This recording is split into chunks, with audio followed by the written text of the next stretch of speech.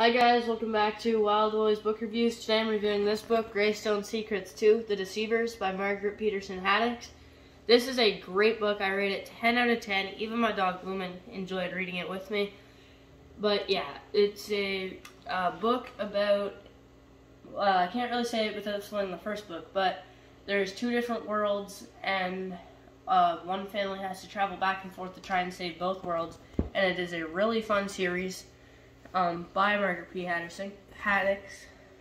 This I recommend this book for ages probably 13 or 10 to like 13 or 14.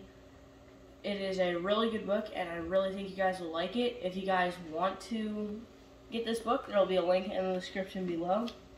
And yeah, this is a really good book. I hope you guys enjoyed this video. Make sure to like and subscribe, and I will see you guys in the next video. Bye!